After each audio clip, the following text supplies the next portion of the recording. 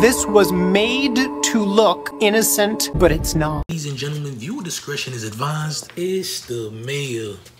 Look, so an old picture has surfaced of Diddy's son, Justin Combs, playing with Suge Knight. How in the world did this happen? Knowing that around this time that Justin Combs is a baby, that there's clearly an East Coast West Coast beef going on, specifically with Bad Boy and Death Row Records. Well, the baby mother of Diddy, Misa Hylton, who birthed Justin Combs, was actually dating Suge Knight during the East Coast West Coast beef. It clearly don't get no lower than that. Maybe it was a coincidence, just bad timing, or maybe she was trying to get back at her baby father, Sean Combs. In this case, we can blame Misa Hylton for making all things possible. Now, I never heard of Suge Knight playing with Diddy's son Justin Combs until today. Can it get any worse for Puff? Since there was already rumors that Pac did it to Faith Evans, which was Biggie's wife. The Suge Knight